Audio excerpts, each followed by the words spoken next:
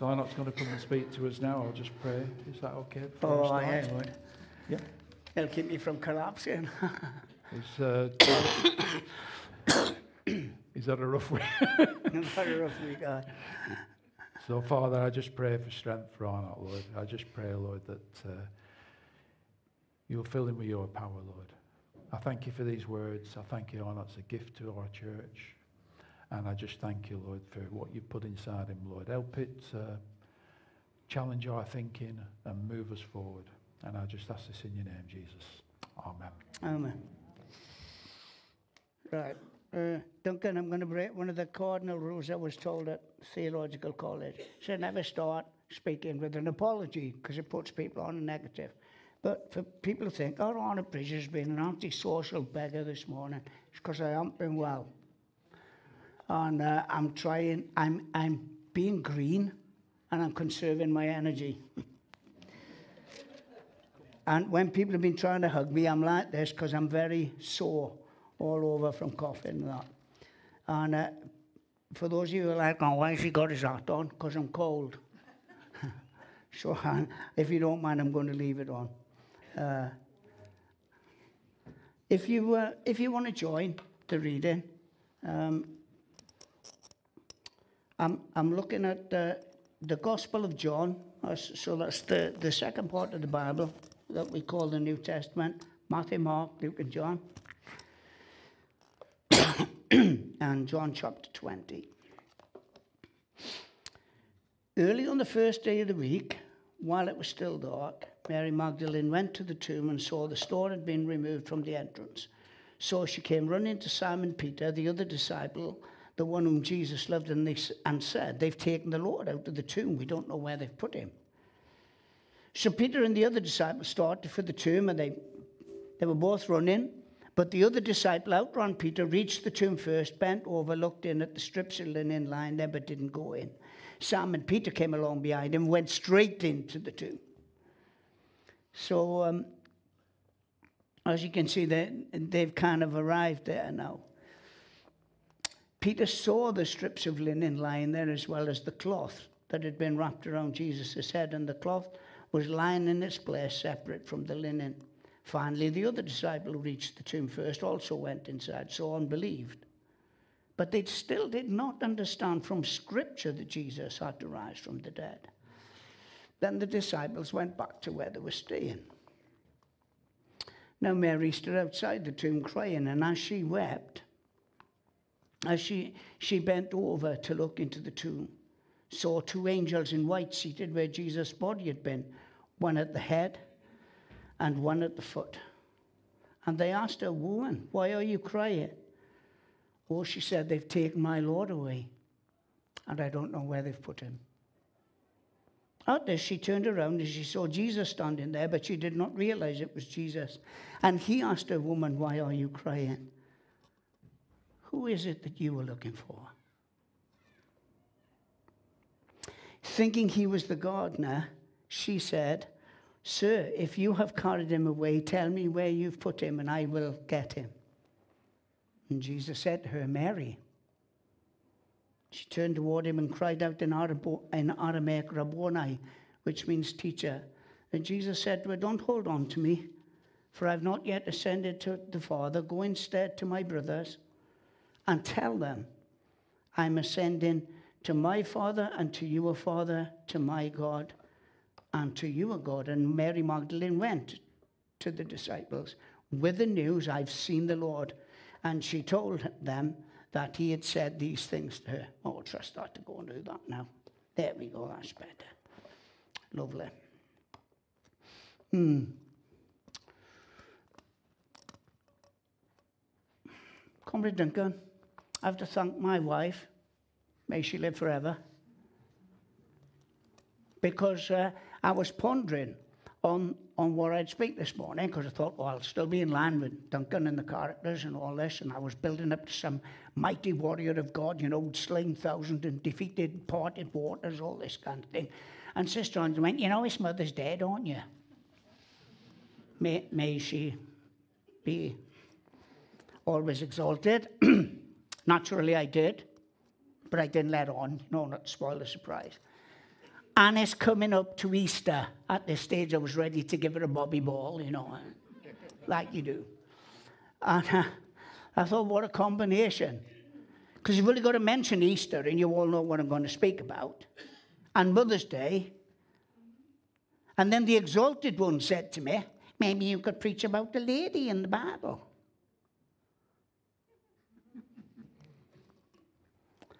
Well, being filled with mighty prevailing love, Alison, I went to bed that night.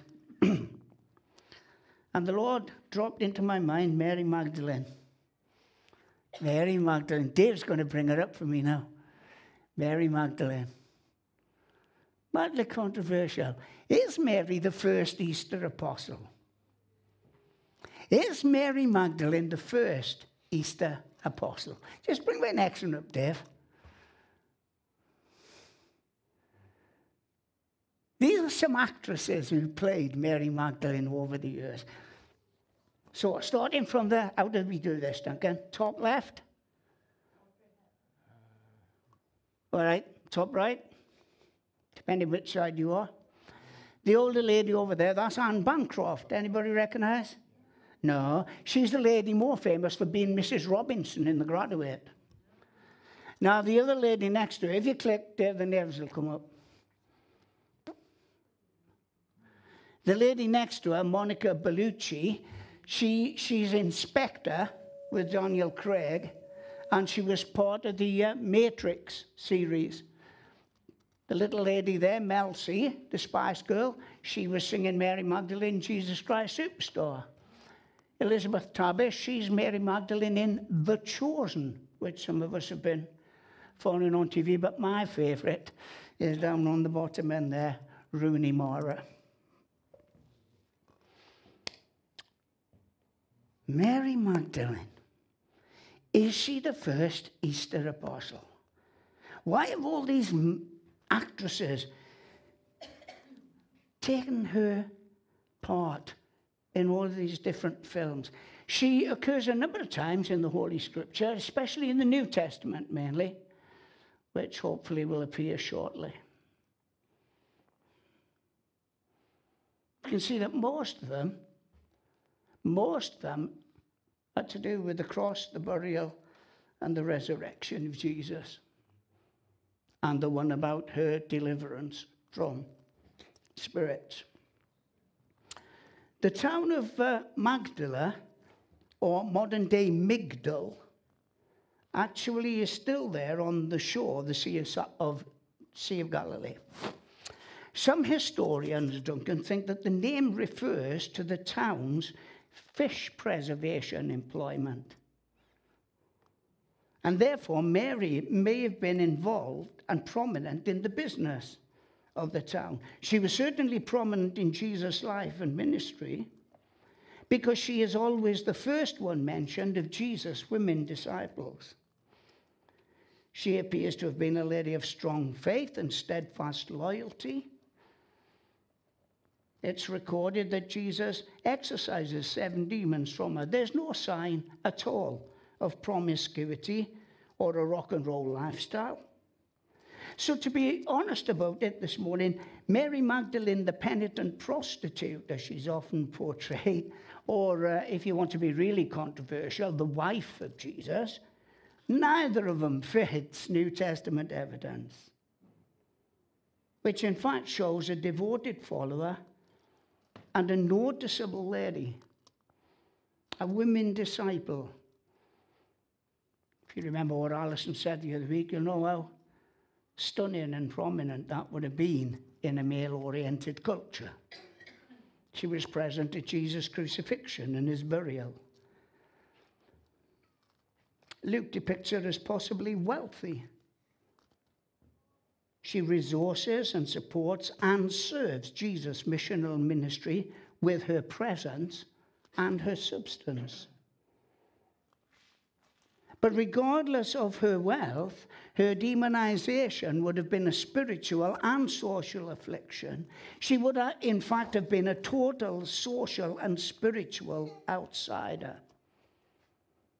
It's very interesting that Magdala would have been by the Sea of Galilee shore, and often in the Bible, particularly in the Old Testament, but it carries over into the New as well.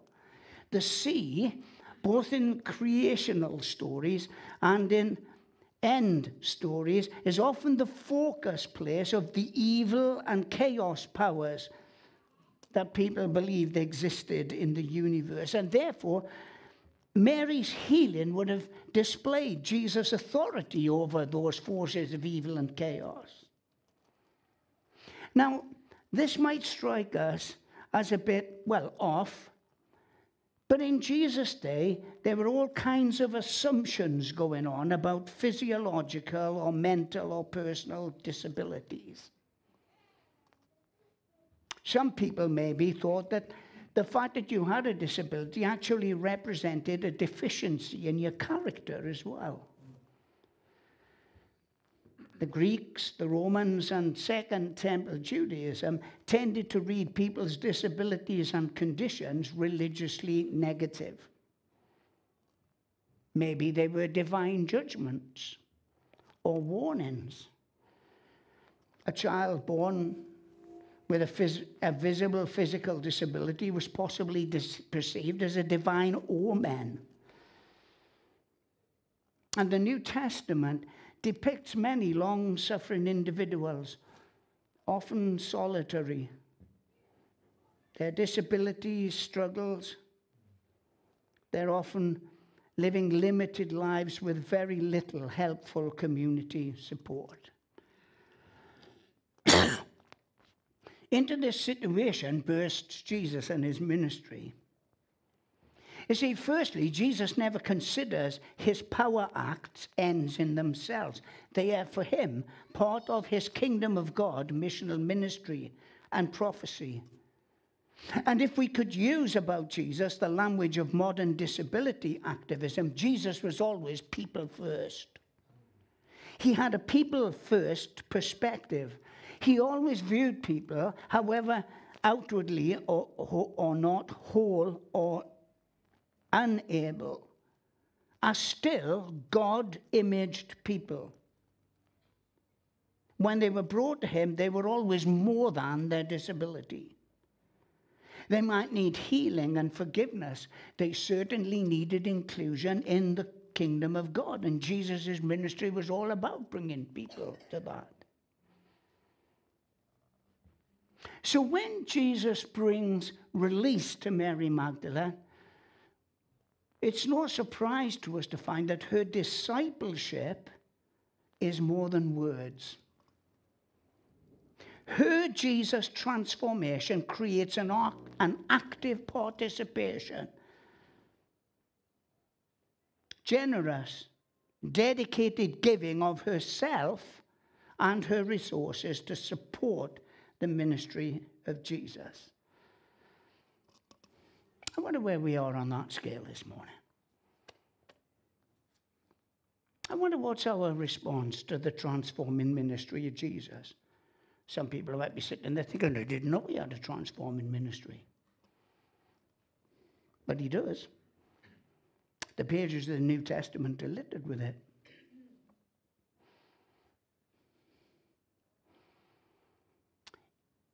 Is Mary then showing us that an encounter with Jesus doesn't just affect us passively.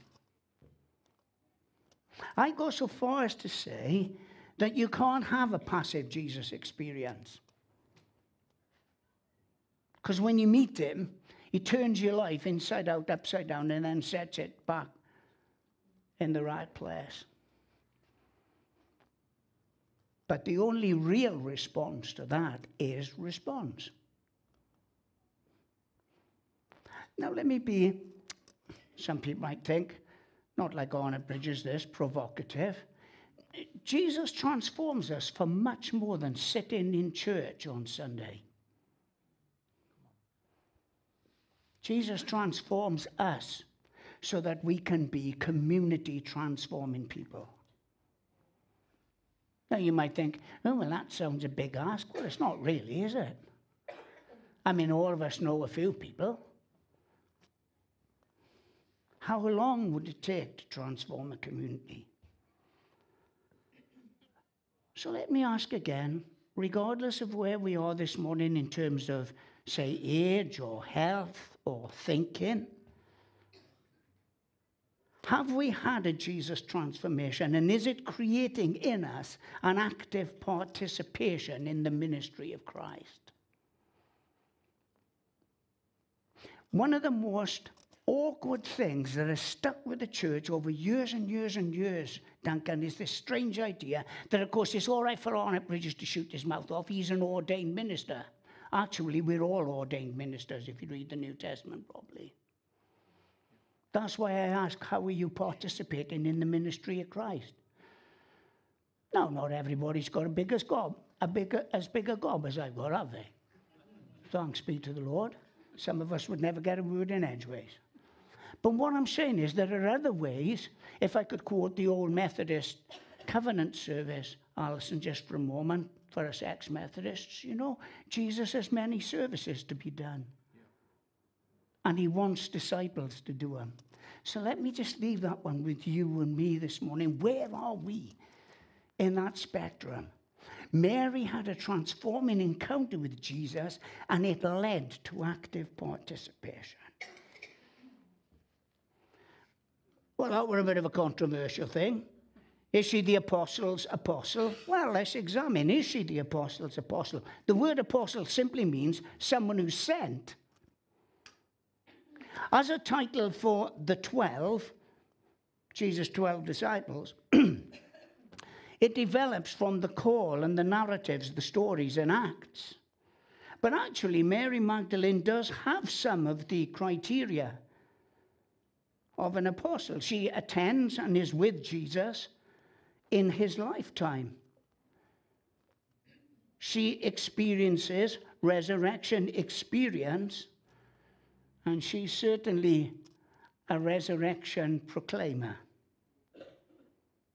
The same is true, isn't it, that we see that this was the very message preached in the very early chapters of Acts. Christ is the Lord Messiah, crucified according to the scriptures and raised on the third day. So is Mary Magdalene an apostle to the apostles? I would say yes, she is. You see, Mary is part of the Jesus disciple group. She's following him, not only in his ministry, but to his cross and to his burial. Mary actually finds and sees the empty tomb. She may textually have been the first. She is certainly the first, hearing Jesus' resurrection self testimony. In other words, Jesus testifying to his own resurrection. He does it first to her. And she is therefore the first risen Christ eyewitness of and to Jesus' resurrection event. For her, Jesus in that moment, in that garden, becomes the risen Lord.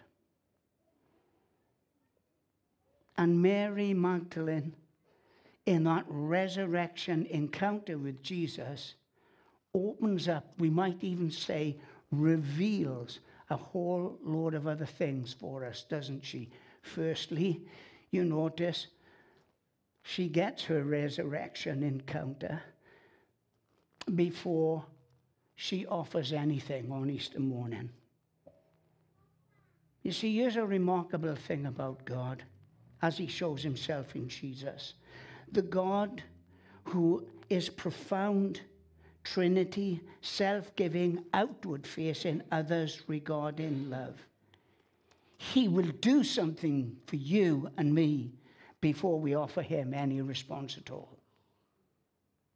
Now, of course, we preachers have a technical little name for that, Duncan, which is scattered all throughout our New Testament, just called grace. And all it means is God in front. Jesus shows this tremendous love. In fact, the Gospels go further. They say the Father sends the beloved Son to die for us. When? While we were hostile to Him. skeptical about him. He comes to heal and restore that ruptured us and him covenant which has existed since we decided we would navigate life independently of him. That little fact that the Bible calls sin. See, in the Bible, sin is a broken relationship long before it's a set of behaviors.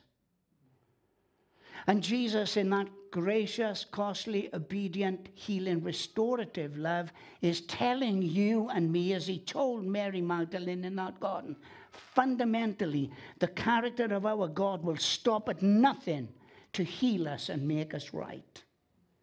In this love, God so desires connective intimacy with us that he crosses the universe. As one writer on, on these matters puts it, he implodes. He implodes and he empties himself into a real God on the street humanity, renewing his connection with us and creation because he wants to create a connective, communicating community between the seen and the unseen realities. He wants experiencing that love shown in the risen Christ to reshape your understanding and mine of Him and of ourselves, and frankly, of the universe we live in on every level. Her renewing resurrection experience.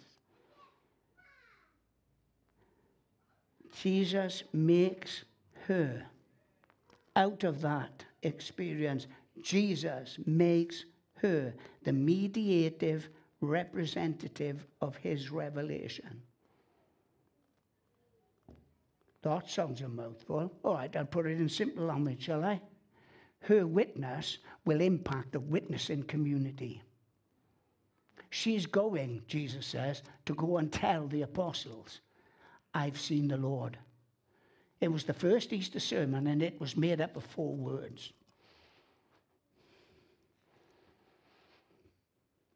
I wonder where we are on that spectrum this morning. Are we involved, really involved in the witnessing community? So that she, they, us are going to carry and communicate Jesus to others. In sending Mary Magdalene, in effect, Jesus is sending all of us, isn't he?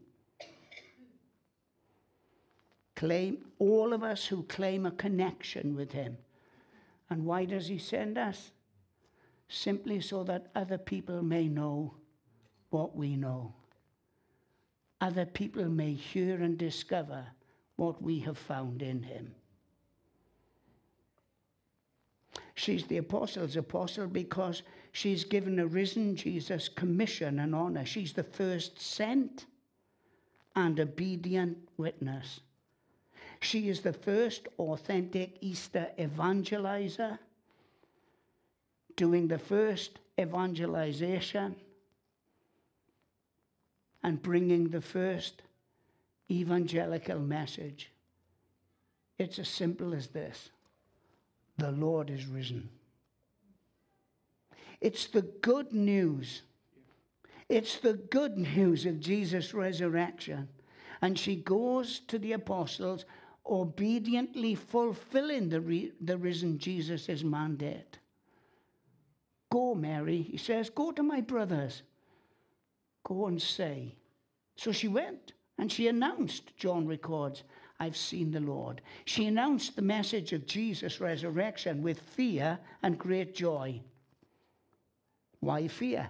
Well, because in that morning, in that garden, Mary saw again the huge distance between immortal God and mortal humans.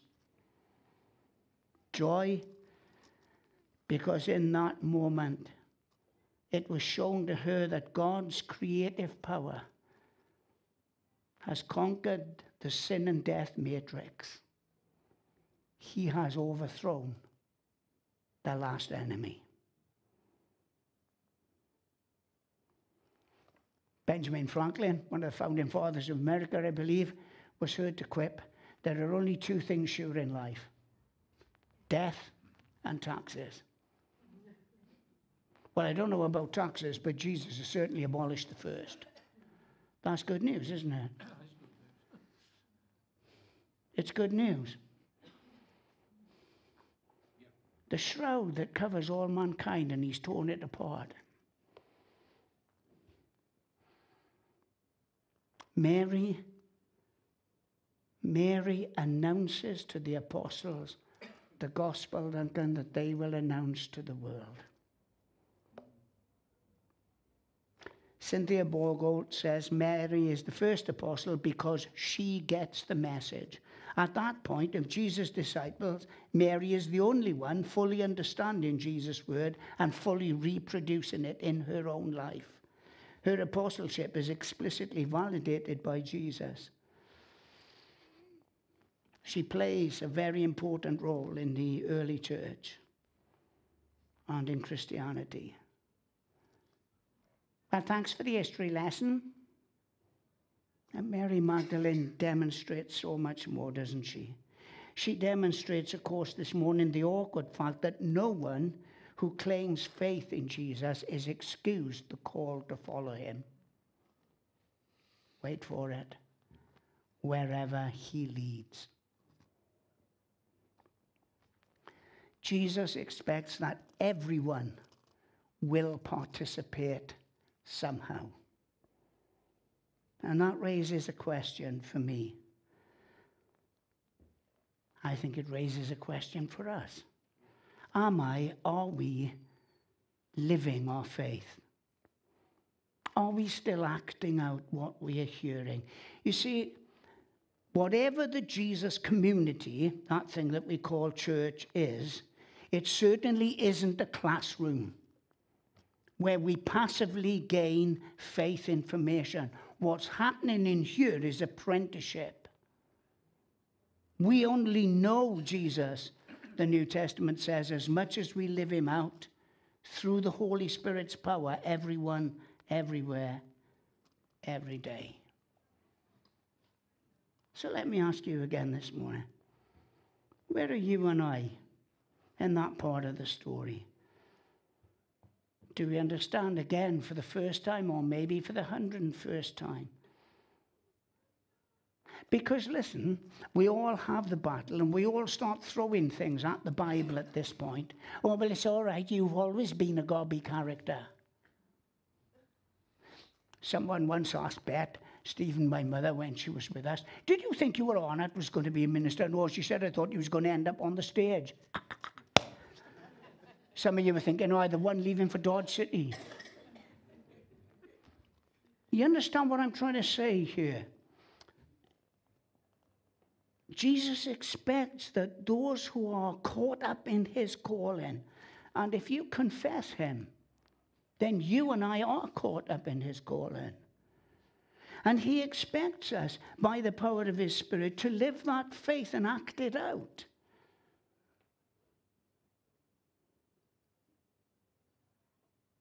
We only know him, in fact, as much as we live him out. So here's a challenge here that this woman of faith again shapes and brings to us this morning. Is Mary Magdalene a groundbreaking pioneer? Yes, I would say she is, yes. She's almost the first verbal witness to the risen Jesus. Listen, this girl has to go and preach to the most surprising, unbelieving audience in the New Testament or in all of Christianity. Doesn't she? She has to go and tell the disciples. They were thrilled. You think I'm being soggy, don't you? Here's the real truth about Mary's sermon. Get, they didn't believe it. In fact, two of them, Peter and John, set off post haste to go and see if the tomb was actually empty.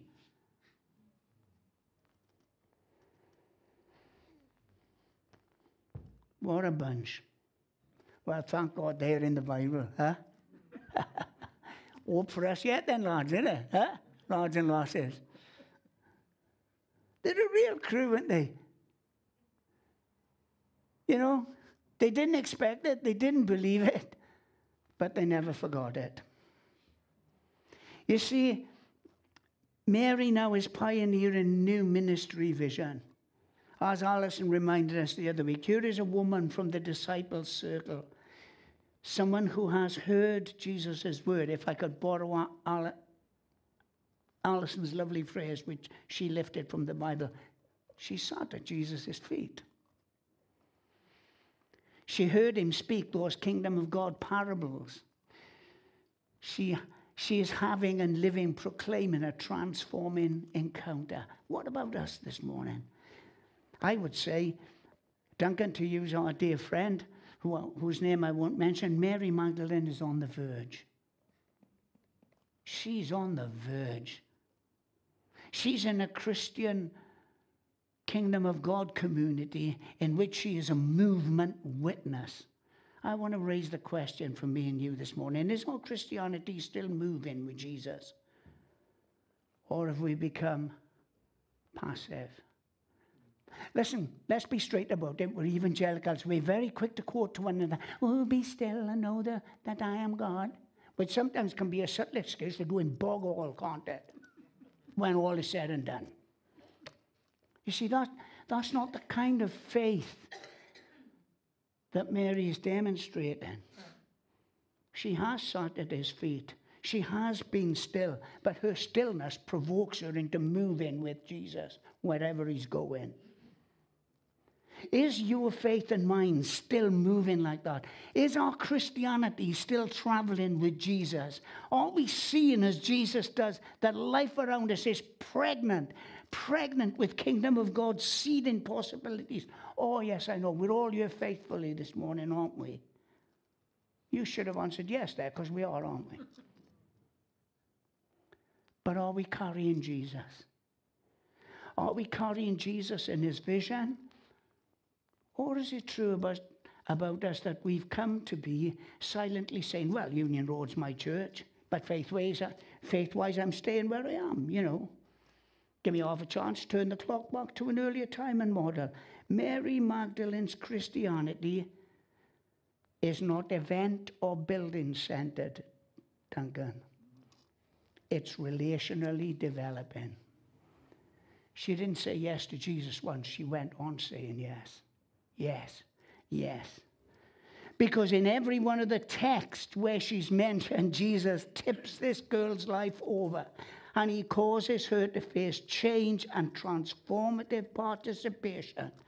This girl has to make her Jesus life count somewhere. Now, I don't know about you, but I could do with a bit more of that.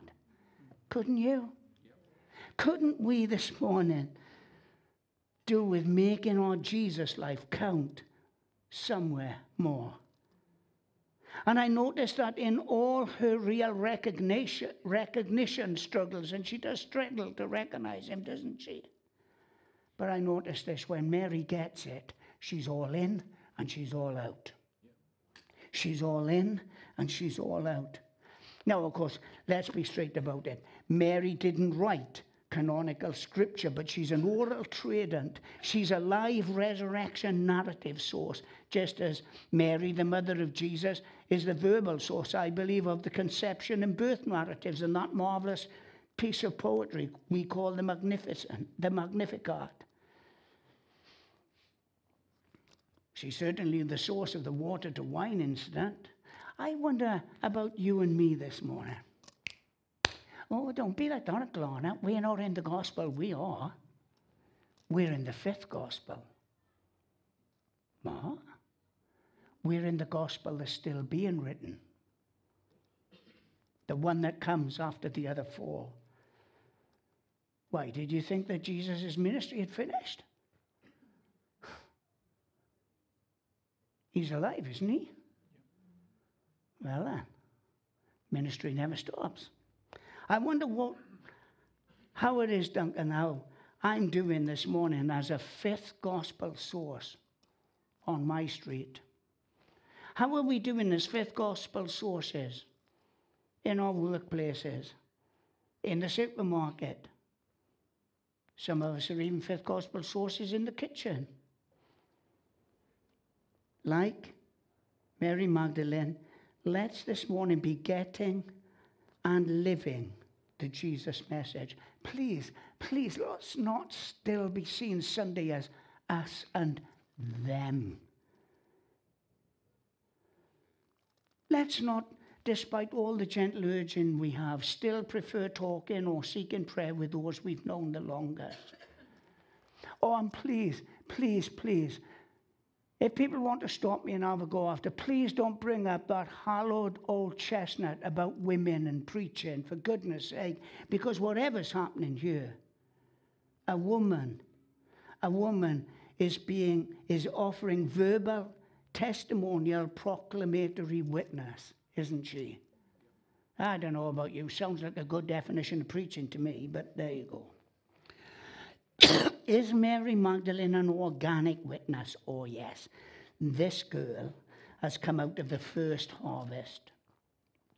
She is the fruit of Jesus' own transforming ministry. Ah, but wait. By her Jesus witness, she is reaching at least two more generations of believers. I believe that Mary may have gone on to work in the village Jesus people. She is sharing with others in the post resurrection mission. She is it, causing others through her witness to experience Jesus and to grow in her life. She is, in fact, I'm going to live in embodiment of 2 Timothy 2 2. In other words, she hears from Jesus, she tells the apostles, and then she goes on and she tells others. Her resurrection Jesus encounter moves her into an apostolic movement, an all people, everyone, everywhere, everyday mission. Now, if you asked me to prove this, I couldn't. But when I read Acts 1:14, I think Mary Magdalene is part of the 120. That embryo Jesus community waiting for Pentecost. She's part of the church the Holy Spirit envisions and enables to embrace continuity and change, conservatism and progressive development, stability and revolution, predictability and chaos, heritage and renewal. The fundamentals and way out of the box thinking and living. Let me finish. Yes, please do. Hopefully, I'm, I'm speaking you, Duncan, not policy, but I am hoping I'm speaking kingdom of God and Holy Spirit vision. Please, brothers and sisters, please, let's not just be the group of people who only want Union Road for us to come to and to feed. Because frankly, even if you never have me back to speak again. Frankly, if we're behaving like that, our sight of Jesus is too small and we are making it too selfish. My hope is that Union Road is going to go from a next generation church. They're all sitting out there at the minute, aren't they? but they're not going to stay sitting out there. Duncan, I'd like us to go from a next generation, like Mary did, to a fourth generation witness. I want to see Union Road developing congregation. I want to see people like Alison and, and, and Duncan, no pressure, and the other leaders, leading a, a church planting missional movement. I don't know how it'll come about, but I, I want to believe that the Lord Jesus is going to give us addition. Well, He is giving us addition, isn't He? But beyond addition and incremental, I'd like to see Him give us multiplication and exponential growth. Let's just start with that. Dave, don't click just a second. Let's just start with that. Come on. Before I finish, let's have an imagination exercise. You'd love one, wouldn't you? Ah, oh, go on, you're dying to, aren't you? if a hundred new people turned up next week, That's all right, isn't it? Yeah? No, we'd have to make some adaptations, wouldn't we? These little rows, eh, we might be a bit more like a Jet2 holiday, mightn't we? but we could adapt, couldn't we? All right, journey with me in your imagination. Click it again, Dave. But a month from now, a thousand new people turn up. now we're really going to have to adapt, aren't we? But you don't want to stop there, do you? Click it again, Dave. Six months from now, 10,000 more people. It would. It would. But the real truth of the matter is, much as I love Comrade, Comrade Mick, even if we did that, we still wouldn't be able to cope, would we? Angela and I heard a prophecy once from the young woman who gave what's now known as the Diana prophecy. It was in a, it was in a Newfrontiers church, Duncan in Bolton. And she said to the ministry, she said to the minister of the church, Rob, he said what? She said, it'll be like this. When Jesus unleashes it, don't bother emptying your baptism tank, she said, because you want it every day of the week. Imagine it. Imagine it. Come on, imagine it with me. You are. Imagine us being part of a hub or chain disciple making movement. Say, Granite, why are you being like this? Bit of personal testimony to finish. I'm 70. This last week, I've been as croaky and cranky and Last Monday, I didn't want to get out of bed. In fact, I nearly didn't get out of bed. This is a miracle this morning. This is the best I've been all week. But I tell you what I have got. Despite my fears and my failures, and there's plenty of them, there's still plenty of them. Out of fire burning. Do you know what the fire that's burning is now? I want to live beyond my generation. I want to see this church live beyond my generation.